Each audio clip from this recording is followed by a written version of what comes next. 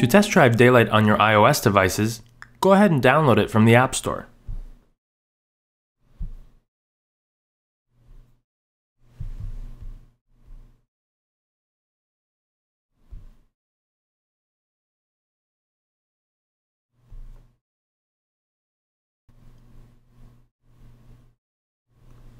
Once the application is downloaded, go ahead and open it.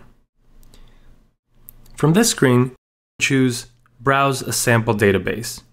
This will allow you to quickly get into the application and take a look around at what your information might look like with Daylite on iPad. At the bottom, you'll notice your navigation, home, objectives, contacts, calendars, and tasks. And on the right side, you'll notice your settings.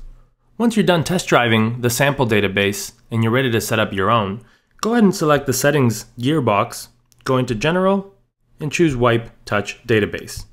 This will bring you right back to the main screen where you can then choose your own Daylite server.